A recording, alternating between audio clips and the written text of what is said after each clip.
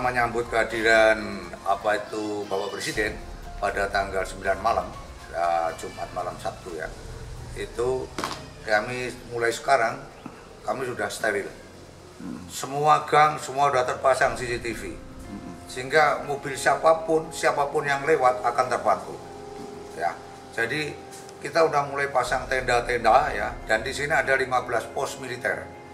Jadi yang tinggal di rumah-rumah atau di tempat-tempat tertentu 5, 15 titik akan ditempati 150 eh, tentara ditambah 50 dari Korem dari sampai 200 ini akan steril mensterilkan lebih steril semua gang-gang yang ada di sini